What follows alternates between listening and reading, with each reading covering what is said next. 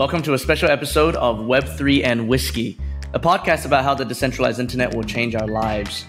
But we're interrupting our regular programming and the way we usually do this podcast to talk about FTX and its very dramatic and very public downfall over the course of really just a few days. I'm your host, Gary Liu, and as always, I'm joined by Suresh Balaji, founder of the Web3 Marketing Association, and Malcolm Ong, a product leader and serial entrepreneur. So, the last three days have been an absolute roller coaster in the crypto industry as one of the world's largest crypto exchanges has collapsed right in front of us. And it's seemingly headed towards inevitable bankruptcy and insolvency. And the ripple effect, actually, I mean, it won't really be a ripple effect. There's going to be a tsunami effect on the entire blockchain crypto Web3 industry. The situation is still developing in real time. And for, uh, for those of us who live in Asia, we have been waking up over the course of the last few days with crazier and crazier news. So, frankly, whatever we say in today's podcast will probably be outdated by the time that this is published, but we are still going to react because that's what we do on Web3 and Whiskey. Speaking of what we do on Web3 and Whiskey, we also drink whiskey while we're doing it. So before we actually jump into the conversation, we're gonna we're gonna drink a whiskey because of all days, I think we kind of need it today. So, um, since we're recording once again in person, and I'm here in my uh, black hoodie because you know it's Black Wednesday in the crypto world, Black Thursday here in Asia at this point. Um, I, I, brought a I brought a very special whiskey for today because again we're gonna need it. This is a Strathisla. Now, this, Strathisla is a very old, relatively famous distillery but its fame is not from people having actually tasted Strathisla before. Certainly not the single malt. Because Strathisla, as a, a whiskey distillery, is um, it produces whiskey that is the base of Chivas Regal. Mm-hmm. It is the oldest distillery in uh, the Highlands. It is arguably one of the most iconic and most beautiful. And its single malts are actually absolutely delicious. But because it's the base of Chivas Regal, it's very rarely released as a single malt.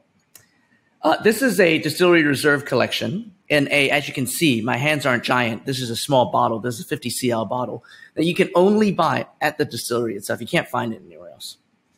Um, this is also bottled at nearly 58% because Strathisla single malt whiskeys coming out of cask is just magic. It is the cask type is a second fill butt, so it's not super heavy on the cask flavor because of the fact that the butt has been used before. It's still taking a lot of the vanilla from the oak.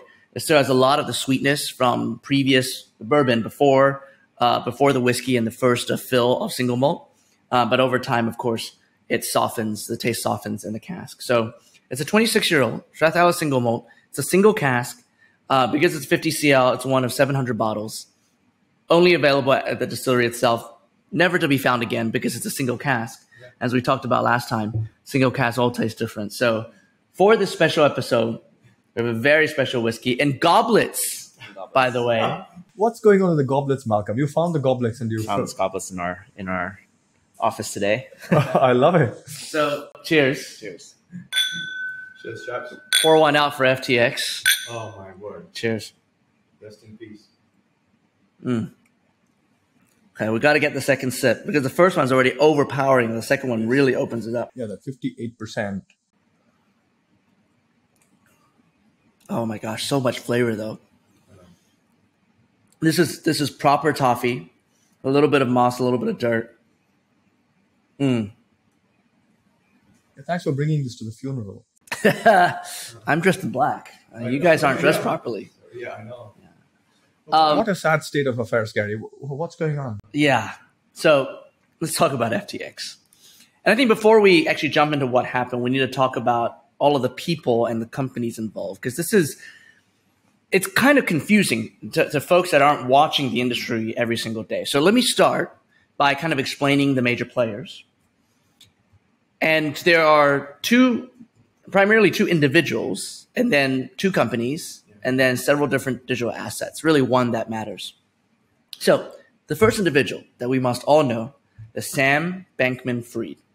or as we refer to him, or everyone refers to him as SBF by his initials. That's how famous he is. That's how important he is. He's just SBF, not Sam Bankman Fried, SBF.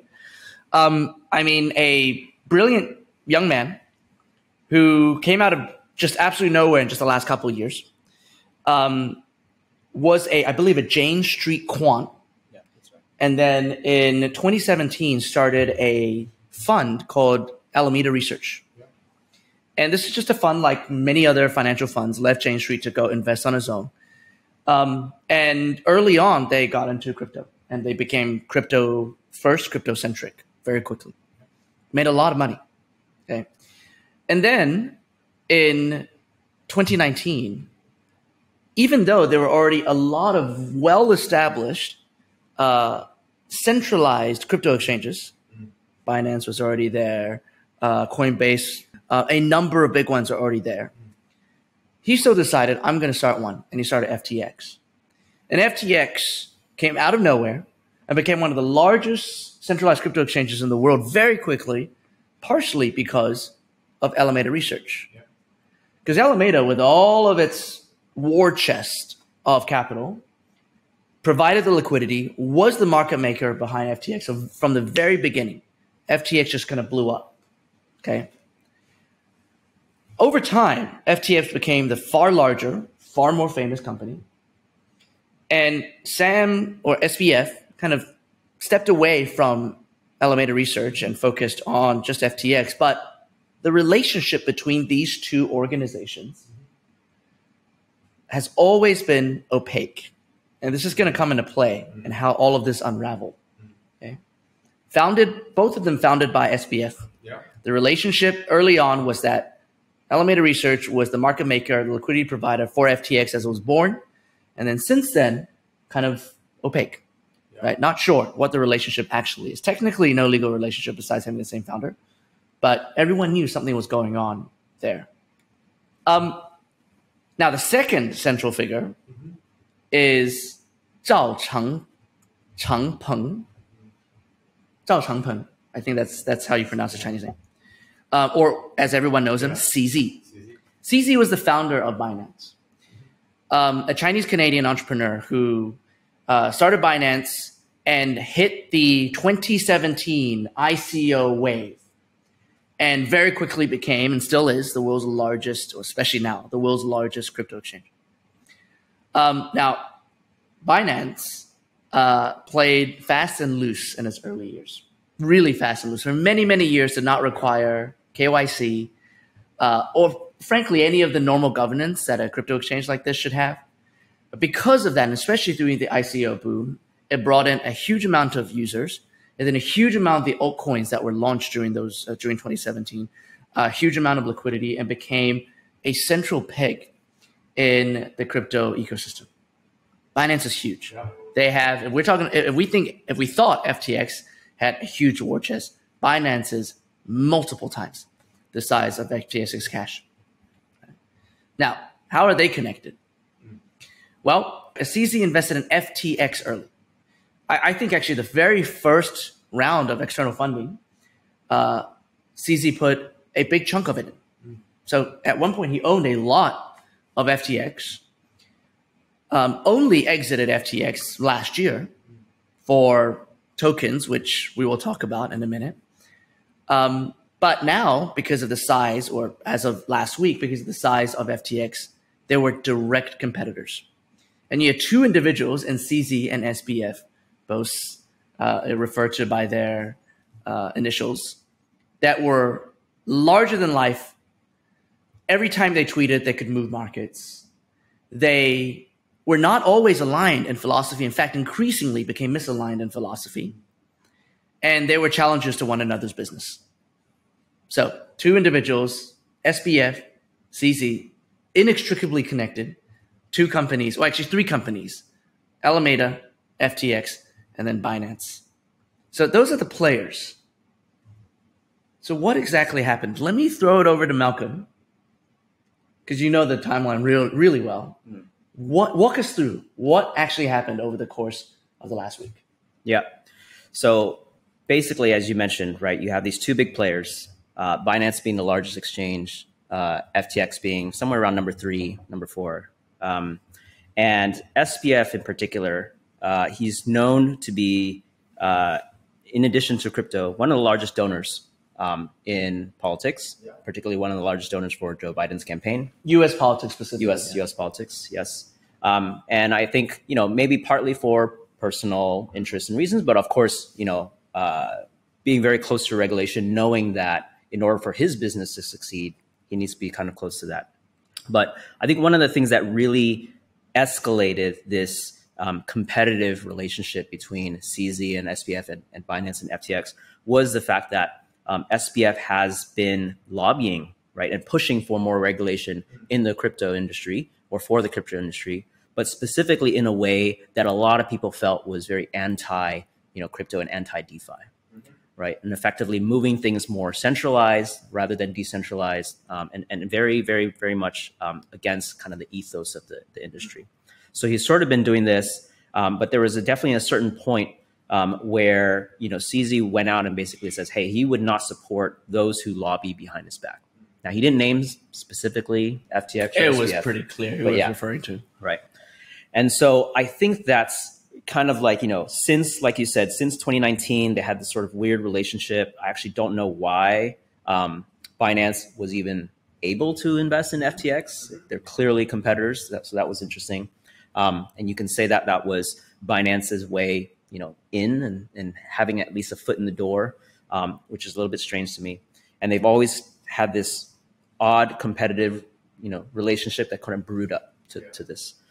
And so once that sort of happened, um, what the, the other catalyst that, that happened here was that CoinDesk um, breaking a story on November 2nd, right? So uh, last week, they basically claimed to have Alameda's balance sheet. Now, recall, Alameda was the company that was first started by SBF. It's the the um, market maker, the hedge fund, um, and effectively, what uh, Alameda has been doing is it's been giving FTX or FTX has been giving Alameda priority order flow, right? So that that relationship, even though it's a separate company, they've been given pre- preferential treatment. Um, now, I don't know. I thought it was quite clear that something funny must be going on there. I think everyone realized there were lateral relationship. There had to be, yeah. right? It's yeah. too it's too close to each other. Uh, obviously, conflict of interest has two separate entities, yeah. but um, uh, something had to be had been going on there.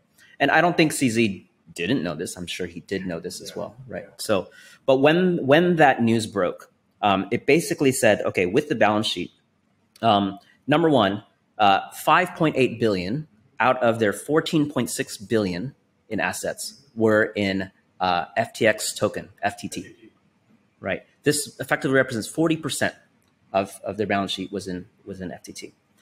Now, one third of FTX's trading revenue is also has been used to purchase FTT and then subsequently burn FTT to lower the supply. And this has been publicly done. Yep. Uh, SBF tweets about this every single time he does. That was the design well. tokenomics from the very beginning, which exactly. made FTT interesting. Yeah, because it would be a, an asset that naturally should appreciate in value because yeah. it was being burned. Right. right. And this meant that FTT had a super low circulating supply. Sure. Right. Very, very much in, in you know large, full diluted value, but super low circulating supply.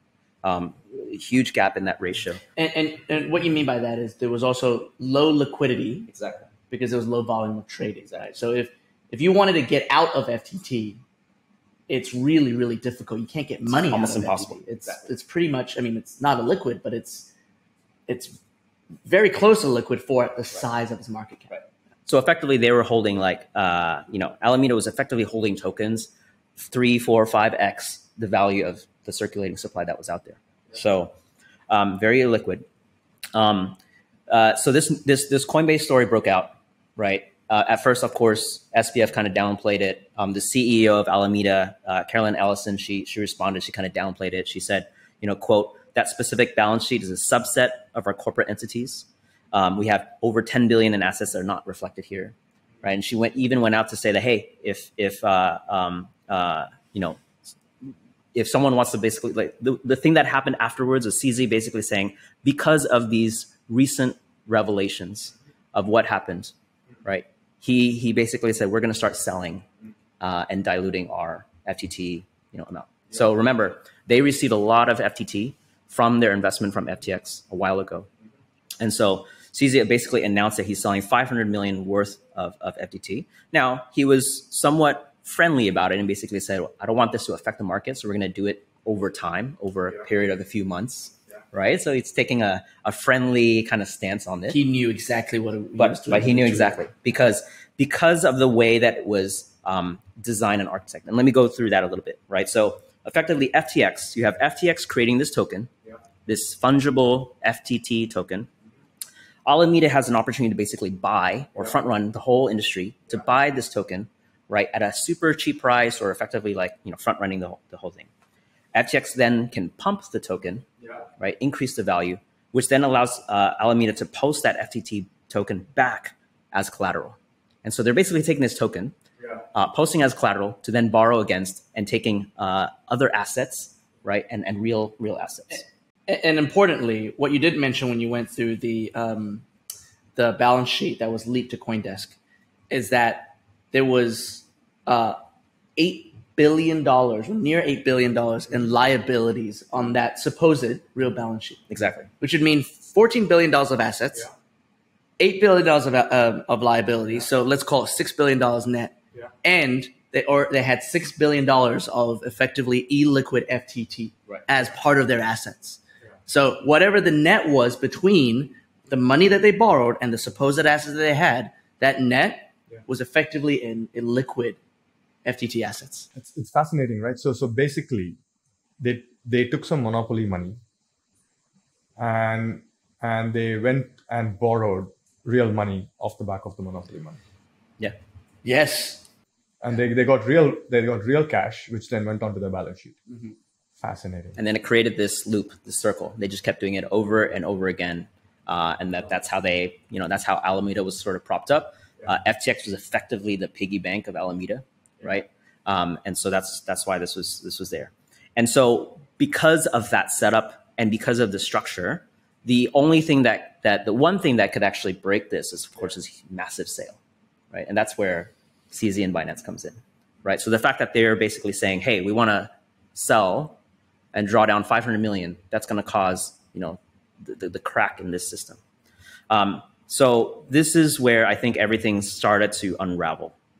Um, and as soon as CZ announced this, this is when you know speculation, FUD kind of spread around. What's going on? Why are they selling? You know, what do they know?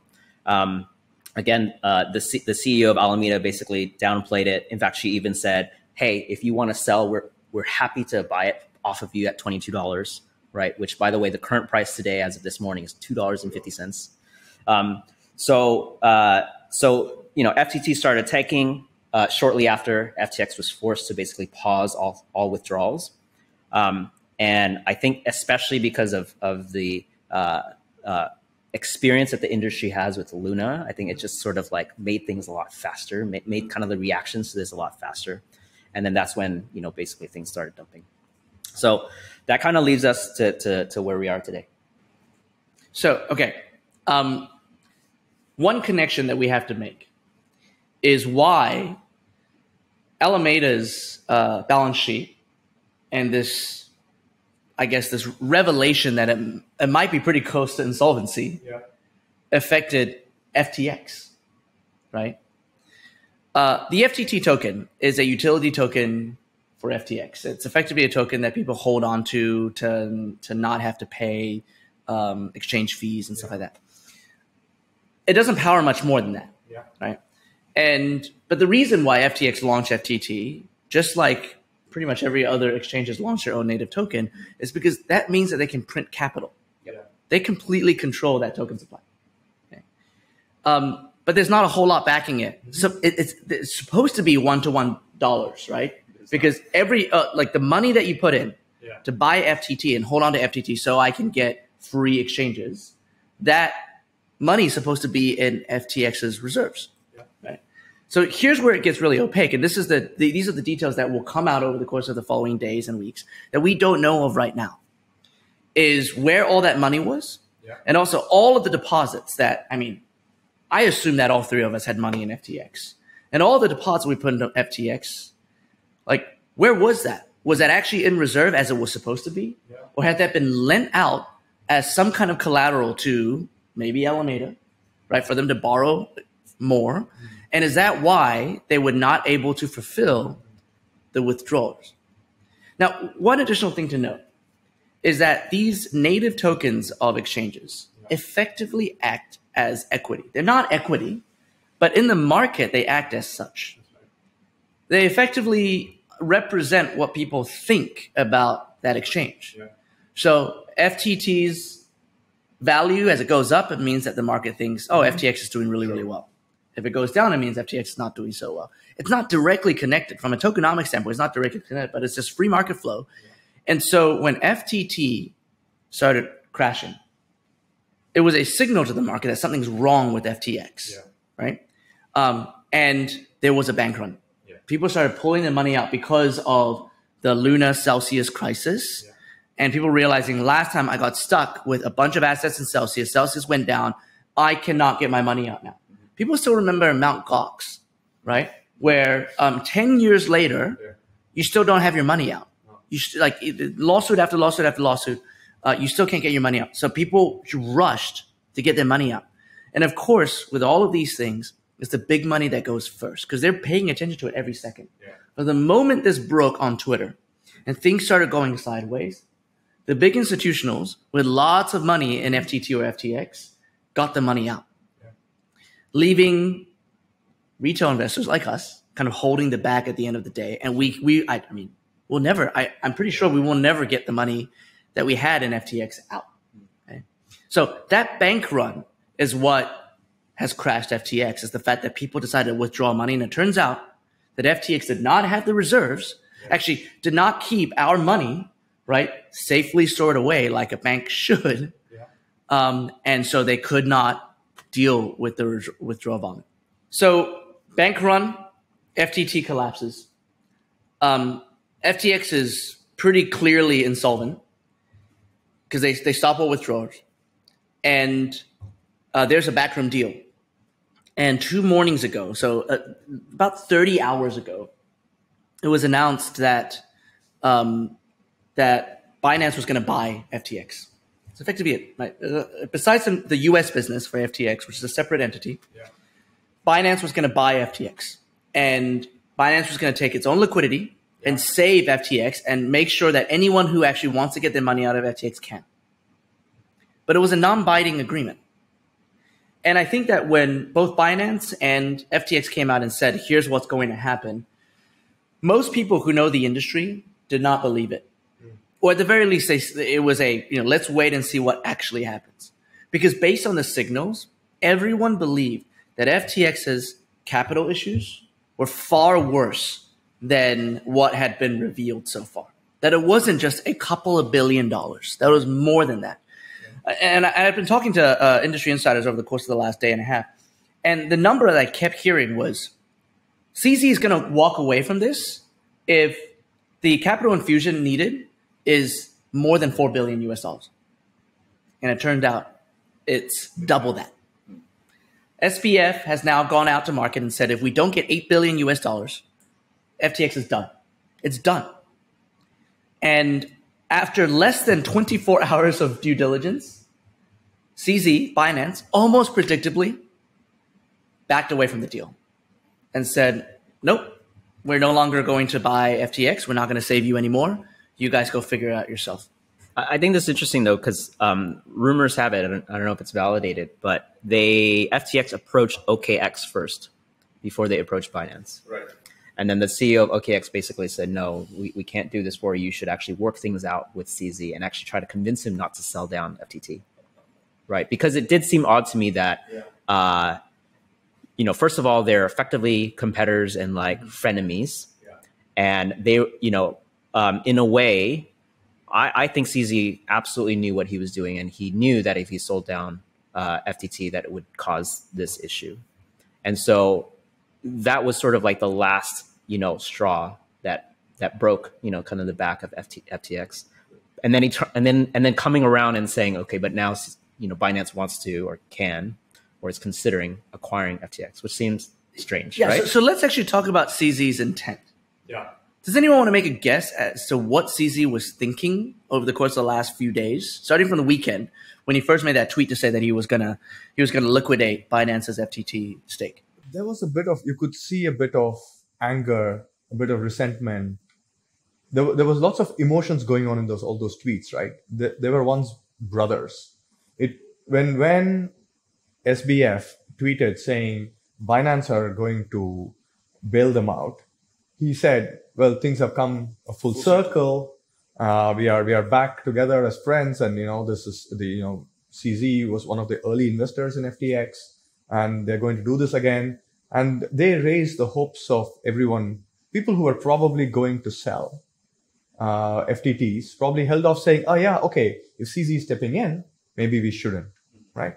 So at that point in time, or even now, I question whether CZ knew that A, the sell off is going to crash FTX. Oh, he absolutely knew that. Or did he know? I mean, why did he have to wait to say that, yes, I will, I will bail you out, then go in and then see the books? I mean, what is the seeing the books piece, right? So these guys say that, oh, we went in and because we said we have a non binding deal, FTX opened their book to us. We, we looked under the hood and all of this stinks. So we are shutting and walking away. I mean, did they not know that the books were all being cooked? The, the reason why they wanted to dump FTTs were because they knew that something was going wrong. So here's my suspicion, right? My suspicion is that CZ is a very smart person. SBF smart too, but CZ knew that you know FTX is in the position where they're at, um, particularly with SBF being um, close to the U.S. you know reg- government regulations, etc. I, I see it as almost um, CZ being close to their quote unquote enemy? And allowing FTX to spend their time and effort with regulators in the US. Because maybe as a Chinese person, Chinese company, et cetera, they're not really able to do that with the same effect. So let's let SBF do his thing. Well, he's pretty much on the wanted list for the SEC. CZ is. so, let's let SBF and FTX do their thing with the US regulations. We'll you know, right. be arm's length and, and kind of be frenemies there, right? And um, but as soon as SBF started turning against uh, perhaps Binance or even the crypto industry's um, uh, intents, right? Then that's when things started to, to, to sour. And the entire time, Binance has this like ace up its sleeve, right? Number one, with the the investment. Number two, of course, with the FTT token. They effectively have like this ace that they can play anytime they want. And so he, I, I, think he saw this window of opportunity. They basically said, look, we have an opportunity to do two birds, one stone. I can effectively take down one of my biggest competitors, yeah. and I can make him look like the enemy, and I make Binance basically look like the good ones, right? Because it's like, well, A, we have a fiduciary duty to sell this down because of the revelations that happened, yeah. right? B, SBF is now uh, fighting against the crypto industry effectively, yes right? And, and doing what he wants, not what's good for the industry. And we don't believe that. We don't back that. And so he had an opportunity to basically like, you know, play this card. And he knew that if he played that card, then that would be the death of FTX. So I, I absolutely think he, he absolutely knew this. So um, CZ, as he had to send an internal email that was leaked to Binance, to all Binance employees, uh, saying that he did not engineer this um, that he knew that FTX was, was probably in trouble, which is why he decided that he was going to exit the FTT stake, uh, but that he did not engineer this to be able to snap up or destroy uh, a competitor. He then, in the same email, also told all of his employees not to sell FTT, uh, and that you know the, yeah. that that uh, that actually Binance itself was also going to stop selling FTT. So Binance never actually went through with the liquidation. It's fascinating. So also here is here is an interesting thing about there's a nuance there, right? It, it got leaked and then CZ then posts the same email saying in full transparency, he publishes it on his Twitter to tell the world that this is what I'm telling my folks. So uh, yeah, so here's what I think happened. I think I agree with the the, the start of of uh, Malcolm's opinion, which is that CZ always had this ace up his sleeve. He knew that if he wanted to, sure. he could take down FTX. And maybe this was the moment he decided, I'm going to mess with them. Uh, much in the same way as US always felt like they had a containment strategy for China. Yeah. If China rose too much, the US could pull a bunch of strings and contain China, and they've started to do that. This was effectively CZ's version of it, but I think that CZ lacked the nuance that hopefully American yeah. diplomacy still has. And what ended up happening was um, he drove the industry to a point where even he himself, I think, like I think it surprised even he himself. Um, I don't think that CZ wanted this outcome uh, because as resilient as Binance is, and Binance is extremely resilient. Their uh, their native token BNB, which is their version of FTT, is far more resilient than FTT is because first of all, it has a lot more liquidity, a lot, lot more trading volume because it is also the staking token for their entire blockchain, which is called Binance Smart Chain (BSC). Um, so it has a lot more utility than FTT. So because of that, their and their cash reserve, like we mentioned, is multiples of what anyone else has. So they are just far more resilient. Okay? But even the resi- even though they're so resilient, this is going to impact Binance right. for sure. It's going to impact Binance um, because people are going to have less money to spend to, to trade, yeah. right? And Binance is going to lose uh, lose revenue. Um, there are going to be institutions who are going to be out of crypto for years because of this experience. Yeah. There's going to be far heavier regulation that is going to impact Binance everywhere in the world. And and then there's a lot loss of trust, which I, I do want to get back to. And, and Suresh, I want you to talk about that. But I don't think that CZ wanted this. Yeah. And I think that he overplayed his hand without truly understanding what the tsunami effect was going to lead to and uh, and right now we're in a situation that uh, beyond even Binance's control. I think the only crypto company in the world or crypto entity in the world that could come in and actually save this now is Tether. Why do you say that? Because they're the only ones who supposedly have the reserve. Yeah, that's true. Right? They have eighty billion dollars in um, in market cap, right? right? Which supposedly is backed one to one in US dollar. Supposedly. Yeah, I know. I love all of these supposedly yeah. backed tokens. Um, but anyway, the, the point being, there was supposed to be a savior in a really, really bad situation. No one really knew whether or not that was going to come through. It turned out it didn't come through. And now, over the next hours and days, we are going to watch FTX unravel, most certainly go into bankruptcy. I don't think they're going to find $8 billion anywhere. Um, and then that if that that impact is going to start, and the economic impact of this is going to be multiples of Luna, of the Luna and Terra crash.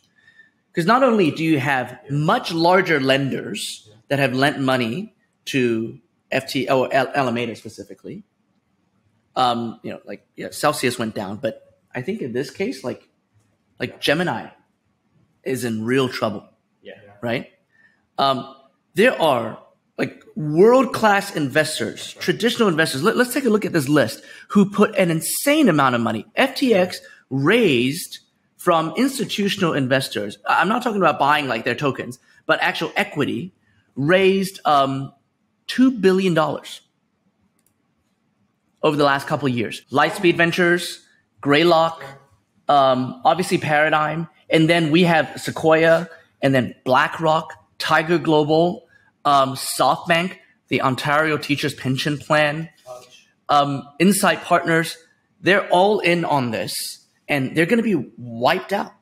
Tom Brady, six fifty. Tom, Tom Brady, definitely going to be wiped out. Naomi Osaka, it seems. Um, and then on top of all of that, FTX Ventures has been putting money into pretty much every major Web3 blockchain startup deal over the course of the last 12 months. And what happens to all of those companies now that the money isn't coming through? Yeah. Malcolm wants to go buy some of them for pennies to a dollar. So, so yeah. So let's unwrap that a little bit and, and come back to to that last point. Um, you know, uh, I, I, wanted to address your question, Suresh, in terms of like, uh, why did CZ uh, decide to try to save, mm-hmm. and why did he agree to this non-binding LOI? Yeah. Right. Um, was there an intent for him to really save them and really acquire them? Um, I take a slightly pessimistic view to this and say that I don't know if they really wanted to acquire them. Maybe that maybe it was a 20% chance where where okay, let's take a look at their business, see if there's any assets that's actually useful to us. But the eight, the other eighty percent was just let's have an opportunity to look at their books. Um, you know, you basically open up the hood to our one of our closest competitors, see how they work, um, and and use that as intel in a way, and use that as strategic. So I'm not Yeah. surprised actually that he then turned around very quickly. Very quickly. Under 24 hours. I expected them to never go through with the deal. I did not expect them to go this quickly and basically say no. Holy smokes. I, I thought they would, I, I genuinely thought they would go through the deal because I thought this would be consolidation. This would, I, I thought there might be code, um, ways of working, talent that FTX have, uh, potentially some of the some, Users, some- wallets. exactly Yes. right. All of that. It would have been uh, they now Binance could have become this big monopoly, uh, the the lead uh, from a from a big distance. Right. That's what I thought. I I genuinely thought 24 hours ago.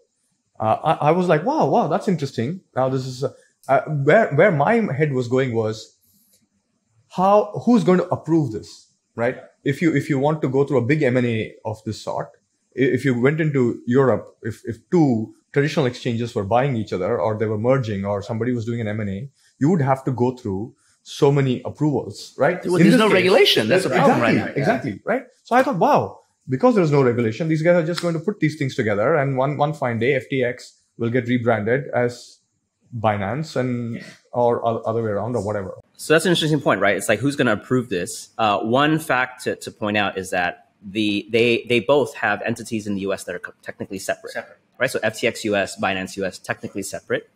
Um, Fraction of their business. For correct, correct. So what we're really talking about is FTX, cor- uh, you know, corporate, which includes FTX Ventures, um, and then Alameda Research, right? So those three-ish entities. FTX US not included, and you know they have another entity, FTX NFT not included. Um, so that's interesting, but but I do agree that maybe what they what Binance could have gotten out of it is users. Um, I don't think it was a talent grab because, uh, interestingly enough, FTX prouds itself for for having very little uh, employees, um, whereas Binance is massive Yeah. right? So it's a different scale. So very high, whatever valuation per employee, whatever you want to call it. So I don't think it was a talent thing. Maybe it was a market thing, right? FTX has a slightly different market than Binance. Binance effectively is everything outside the US. FTX very has, you know, very much the Western world in a way. Um, so I, yeah, I, I didn't have any confidence that this deal would actually go through, but I am surprised how fast it Yeah. turned. I, I just I can't imagine that that CZ really wanted FTX. I, I think he wanted FTX restricted and knocked down a peg. But this type of impact again to the industry is not good for Binance. Yeah, that I agree with. right? So I I do I believe that um, that uh, him stepping in and saying I'm I'm willing to fund this was him saying okay I won right and I'm going to save this to make sure that we stabilize everything and then he went in and saw the hole Yeah. and thought and said I can't put eight billion dollars in because then that puts Binance at risk. Right? Remember, FTX did this with Luna. FTX and SBF went and saved or tried to save BlockFi and Voyager Yep. after the Luna crash, and they were the white knight. Um, but those were at a much smaller scale than what Binance would have had to do to save FTX. And I, I, I still think um, that that CZ overplayed, took a look at the books, and very quickly was like, "Oh, okay, the hole is eight billion. Um, we cannot do that, so I'm out." So that's the other interesting part of this story, right? Uh, and for the context of our listeners, right? It, it during that Luna crash, uh, you're right in that SBF was this white knight that sort of came in and basically said, "Okay, we're going to lend all these failing companies. We're going to give them a, a, line of credit. We're going to lend them money. We're going to, you know, maybe acquire some of these um, and save them for the industry." Yeah. But now that we know maybe the truth behind the way FTX was structured, it makes you wonder, like, was this them to save their own ass, or was it because you know, because what else were the kind of like behind the scenes that they needed to do this in order to save their own ass, as opposed to them either a saving the crypto industry or b uh, buying companies up pennies on the dollar um, for future you know investment Yeah. uh, returns. Yeah, I, I, I must admit, my, my favorite is 23 hours ago, Su Zhu, right? Becomes a poet and tweets, There I was, surfing the wave of waves. Next moment, wipe out. Board broken. Rocks reefs everywhere. The sudden pain of business failure and loss of purpose as a golden child of the industry. Plus, business cycle more broadly was as difficult as the ensuing ostracization Th- and is- demonization. So, is SBF the new demon? I mean, the last few days have just been crazy. So, uh, Suresh is talking about the co-founder of Three Arrows, who has not been seen publicly and has not actually posted on social media since Three Arrows collapsed. And his first post was effectively him acknowledging that he's just been chilling and surfing for the last several months, which is, I mean, it's just a, it, I, like, do you, like, zero EQ? I don't understand why that would be your first tweet since you destroyed 10 billion, maybe 18 billion dollars worth of value over the course of a couple of days. And by the way, in the same day that this happened, Do Kwon was on a live stream and Martin Shkreli Oh my word! was on the live stream telling Do Kwon that prison isn't that bad. And you know, for those of us who actually believe in this industry, because we believe that blockchain and a decentralized internet is going to make the world a better place, I'm watching this stuff happen, and I'm just I'm angry. It's it's funny, like on the surface, but then when I pause and think about it, I am angry because these guys don't seem to be taking this seriously. They don't seem to realize what they have done to people. They don't seem to realize that there are millions of people who has have lost real money, potentially life savings, because they're so cavalier. Because they were chasing opportunities to make money themselves, not being careful, again, riding hard and, and, and loose with other people's cash. And then when everything went to crap, they're still living their lives. They're still joking about it. They're they they are they they, they are seemingly at least right now fine. Yeah. And that does not in any way, shape, or form match the ethos of what I thought the decentralized internet ought to be, what crypto and blockchain could do for the world. Um, but these are the poster children, right? And so one of the major implications and impacts, and we're finally going to get to this. I'm going to toss it to you in just a minute, Suresh. But one of the major implications, I think, of FTX going down is that the majority of the world is not going to realize that this was a failure of centralized financial institutions because FTX is a heavily centralized financial institution and it's not a failure of decentralized finance. But because there is no nuance to separate those two things, the implications are there we go. We have now once again proved, or it's been proven once again, that crypto is bad. And that is going to be the reductive reading of this situation, which I understand I'm not going to begrudge anyone for. Uh, and it is going to set back the industry and the positive impact of decentralized technologies, I think, quite a ways. So the impact beyond financial is going to be huge. Yeah. Suresh, talk to me about that impact. Yeah, well, let's okay. Let's where do we get going, right? so let's let's start with SBF's positioning, right? It is it, this is insult to injury, right? I mean, your anger is because of the breach of trust, and institutions run on trust, and the whole idea of decentralization, the magic of blockchain was going to be creating these bridges between entities and people where seemingly there was trust gaps. So let's unpack trust a little bit, right?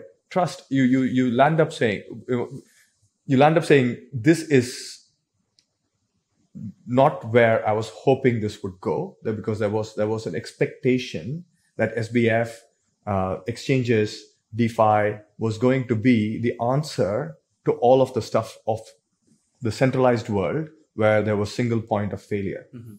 And there was a there was this interview in uh, Hong Kong FinTech Week, SBF live streams. Firstly, there is this all this grandeur of here is who this Saint Sam is, sleeps four hours, is a vegan, uh, doesn't take a salary, is all about his customers, is always doing the right thing. He was going to be the bridge between uh, CeFi, DeFi, TradFi, etc. Yeah. And he's even asked, um, so Sam, do you think you will ever buy a TradFi bank for its licenses. Will you be the one who's going to now merge these two streams? And he doesn't say no, right? He doesn't say yes either, right? So there was this whole thing about these guys are going to create this stuff, right? And he was he was live streaming from Bahamas, where he where he still is, I would imagine, right?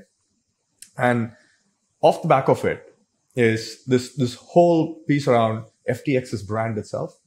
FTX goes into spaces where traditional investors are, you know, non-crypto natives are. So they go and you know, get stadium rights for Miami Heat at 135 million dollars for a 19-year deal. Right, it's a 19-year deal of FTX being there. I don't know what Miami Heat are going to do if FTX goes down. Are going to strip it? By the out? way, that's a fraction of what Crypto.com paid for that is correct. Staples Center, well, what used to be Staples Center. Yeah. and then, and then uh, they do the you know Mercedes team F1 deal is the you know FTX Mercedes. I mean, when traditional marketers looked at these things and they went, "Wow, these guys have some serious money." Traditional brands got outbid by all of these crypto native brands because they were desperate to create this feeling of you know perpetual scale, right? And legitimacy, right? Yeah, exactly right? So there is the, you're everywhere which means you're prop- properly scalable. You are legitimate because you're you're being now you're you're next to mercedes right? One of the most trusted brands. You're at miami heat one of the best teams. And and and, and the sort of equity that got that got rubbed off on the likes of ftx my favorite of all right? And I, I want i want our viewers our listeners to go and look this up.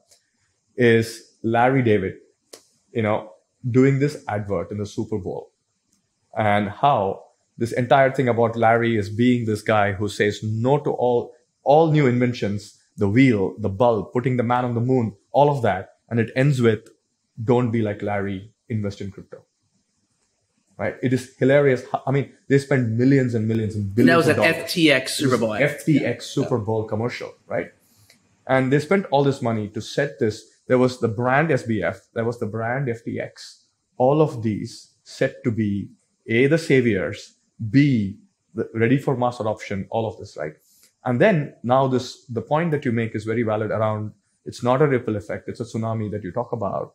It is going to have a massive impact on anything crypto, firstly, which it should, because you know, bad actors have outweighed good actors in this space to start with. Second, and rightfully so, we've always maintained in this in this podcast that we need underlying strong, stable industry policy, the right amount of regulation without losing innovation. How do we get the right kind of guardrails to come in to be able to create spaces for innovation, rights for people, customer protection? All of that needs to come in. That's the second piece that, that one needs to think about as as as the impact.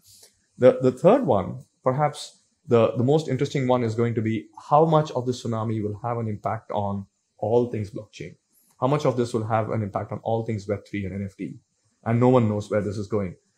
Uh, what could be fascinating is that $8 billion is found by a TradFi. And, and someone comes and says, okay, so maybe it's not Tether, maybe it's a global bank. I, I, I don't even, I mean, there there is a very small number of banks Yeah. counted on one hand in the world that could come in with eight billion dollars in capital Yeah. with what is effectively going to be probably at least a five, if not a ten year return window Yeah. to save FTX. I just I, I don't I think don't know. I I don't don't see it I don't. I I'm don't see just, it I'm just conjecturing. I'm, I'm saying what are what are the options now, right? I don't think I, th- I think the, what's the best possible scenario best possible scenario For whom? yeah for Yeah, for in for yeah, exactly right for investors, for the industry, for blockchain, for Web three. I think somebody who has a heck of a lot of money Yeah. and decides that they really believe in this world and wants to make a mark um, comes in and says, I'm going to save it even if I don't get this money back and I can lose $8 billion. And how many people in the world can do that right now? Elon can't anymore, right? Because he just bought into a money pit Yeah. that he probably himself may not be able to dig out of. So who who's left? I mean, Binance MBS? was, Binance was it, right? Binance was MBS? I don't know. Another, you know, three letter, whatever. I, I think I need a three letter acronym, or maybe not. Yeah, I, I, it's, that's not going well for, for those folks recently. So, um, I, I yeah, I, I think it goes into uh, into bankruptcy, Yeah. and then we deal with the downstream impact. Yeah, agreed. But but this is this is let's get back to the point around the conversations we used to have around guardrails and customer protection. So where do we think, Gary, this will this will lead to? Clearly, SEC don't have jurisdiction on FTX in the Bahamas. Um, so in in that interview, Sam had Sam live streamed into, he said that FTX was probably more regulated than most TradFi banks. He said I just there are understand 90 how- plus lead regulators, 90 plus lead quote unquote lead regulators. Uh, On camera, he says this, right? Now, which of these countries will take a view on FTX? And, and the big hope, right? When you walk the corridors of Hong Kong FinTech Week, everyone was elated, right? That Hong Kong was, we spoke about this in the last episode, and everyone was elated that Hong Kong is taking a view on retail investors. Everyone was excited that, yes, and, and someone said, maybe Sam will come back to Hong Kong. That was that's that was the not, not just a rumor. That was the one of the drivers Yeah. of policy. Um, again, in the in, in the alleys of government, was there was a realization that FTX, Binance, um, Crypto.com, they were all domiciled here in Hong Kong. They were either founded. Crypto.com and and, and FTX were founded and and and they grew out of Hong Kong. Binance was domiciled here in Hong Kong, and they all left over the course of the last two years. And one of the primary reasons that they left, actually, the funny thing is, there are two primary reasons. Um, one was the fact that Hong Kong did not allow retail investors on platforms, so they were just like, okay, we're not going to like. They, these are retail platforms. But the second reason, which we really didn't talk about last last week, that they left, was that Hong Kong um, f- forced all of these exchanges to heavily insure Yeah. deposits heavily to the point that, frankly speaking, it didn't make any sense because no bank was forced to insure up to the level that um, that, that that these crypto exchanges were being insured up to. And had they followed through with that insurance, first of all, I'm not sure any insurer would underwrite it. Second of all, they would have to pass the costs on to the actual users, and they, they, they, their costs cost of trading on their platforms would be so astronomical, their business would die. So for those two reasons, they left Hong Kong en masse. Took all the talent, took all the money, took all the innovation with them, and the um, the discussions uh, over the course of the last several weeks was that, and I had heard, and I don't know if this is true, that um, had already said to the Hong Kong government that um, if there is a path to retail, if retail is available in Hong Kong, FTX would come back, and that was seen as a massive win. And I mentioned this last week in our podcast that that would be a huge win for Hong Kong to get FTX and Binance back. Obviously, I have to reconsider. I don't know. I haven't had enough time to process what I feel about this specifically, because, um, yeah, because we still need to figure out exactly what what actually happened with FTX and why they were not able to pay out the withdrawals, and and, and then we have to see how regulators are going to react to it. What's going to happen to the Bahamas? You mentioned obviously Hong Kong FinTech Week last week and and SBF being on screen. But you know one of the other VVIPs that was here in Hong Kong for Hong Kong FinTech Week? It was a representative from the Securities Commission of the Bahamas. Hmm. Was here in Hong Kong because they were trying they they they are actually I mean they'd already they've already sent out invites. They're trying to pull off a massive global conference in the Bahamas in January. Yeah. Is that going to happen now? Because the the entire crypto industry in Bahamas was just FTX, That's right. right? So what happens now? What happens in Miami and the literally hundreds of millions of dollars that has been poured into real estate in Miami by FTX and FTX employees? So I think regulators over the next few days, next few weeks, including in Hong Kong, where they last week gave everyone hope because they came out and they said, this is what we're going to do. We're going to open up. We're going to have find a path towards retail. Everyone has to reconsider. But the last thing I'll say on regulation before we wrap is that um, the bill that F, that that that Sam that SBF was championing in the United States, which is what CZ and uh, much of the crypto community kind of was upset about. And by the way, Coinbase Coinbase is is also championing the same act. It's called the DCCPA, and this bill um, lays out how the Commodities and Futures Trading Commission, uh, the CFTC, would regulate crypto. Right. And this is part of the big problem in the US right now. Yeah. Is that the different agencies are all vying to be the one that regulates. And we don't know who. We don't know if it's going to be Gary Gensler and the SEC Yeah. or the CFTC, Yeah. right? Um, we don't know if there might be a new uh, regulatory authority developed. We don't know if virtual assets are going to split, be split into multiple different classes and be given to different regulators. We don't know because the U.S. does not have clear regulation. Is cryptocurrency a commodity or a security? Yeah, I mean, Or a it's- currency? That's that's the debate, right? That's the debate, right? And, and so, um, so you actually have these exchanges that have decided the SEC is not our friend, but the CFTC might be.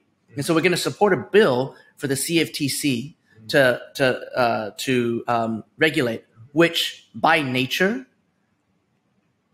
kind of kills DeFi because of the CFTC. And so that's why everyone was so upset with SBF and Coinbase for their championing of this DCCPA bill is because by nature uh, and, and and frankly by by by writing, it was going to be a massive threat to decentralized finance. Yeah. And so the, the expectation now, by the way, in the last 24 hours, is that there's no way this bill is going to pass. So what does that mean? Does the CFTC no longer have a role to play in here? Is the has the SEC by de facto won? And you guys know how I feel, how I, I would feel about that, right? I, I would be very very concerned about that. Okay, Yeah. Okay. we need to wrap. Let, let's make final comments on what we think and what we're thinking about, and how our listeners should be uh, should be thinking about this situation as of today. Right? Again, playing out in real time. We will come back and address this topic and the developments later as well. But as of today, how should we be all thinking about it? Suresh, I'll start with you. I'm just worried that we will end up throwing the baby out with the bathwater. My bullishness about blockchain is for all of the things that it can do. And we talk about how the decentralized internet can change people's lives in this podcast, and it truly can. My, that's what that's what I'm thinking about. I think that's what most of the listeners are thinking about. Now we will have to find a way of parsing out the good from the bad somehow and say this is what is good about it and how do we protect what's good about web3 Uh, of course, you know, we here at the podcast are very bullish about Web3. So I'm very uh, scared about the implications of what this might have with the tsunami across the industry. Not only because of FTX's um, their own influence and their own hands in many businesses and many companies in the Web3 space, but like you said, in terms of regulation, what does this mean? But uh, who knows? Maybe this is also, um, you know, one of those Lehman Brothers moments where okay, it's a massive crash, right? Massive change necessary, but perhaps this, we're going to come out of this and and actually have a path forward that's that's better. I agree with both of the gentlemen here. Um, I think the difference between this and the Lehman Brothers situation is that people understood what was going on with Lehman, generally speaking. Even uh, you know, normal retail investors had a have a sense, have an understanding of how our financial systems generally work, and it could be relatively easily explained. This is different. Yeah. The vast majority of the world they don't understand this world to begin with, and when they look at this crash, they're going to make so many assumptions that are incorrect. They're going to draw so many conclusions that are incomplete. And my biggest fear, besides reputational credibility impact, besides the actual financial impact, which is going to be enormous, is that it is going to stop people from learning, from experimenting, and frankly, from caring. And that sentiment, I think, will really, really set back the uh, the industry, uh, slow down innovation, and um, restrict our path towards what I still think is a better world because of decentralized technology. So uh, let's hope that our pe- pessimism is wrong. Maybe in the next 24 hours there'll be some miracle, and FTX will be left standing, or at the very least, the impact will be constrained. Um, but I guess we're going to have to come back to this conversation again. Gentlemen, thank you for joining me on this special edition of Web3 and Whiskey. Thank you for sharing this beautiful Strathisla with me. And uh, let's uh, let's continue this conversation very, very soon. Cheers. Cheers. Hey, listeners, please do follow us on all of your favorite audio platforms and hit the like and subscribe button on YouTube. And if you have comments for us, or you want to disagree with us or argue with us on any of the points we've made, please leave your comments on YouTube. We'll be checking them. We will address them in future podcast episodes. We definitely want to engage. Thank you so much.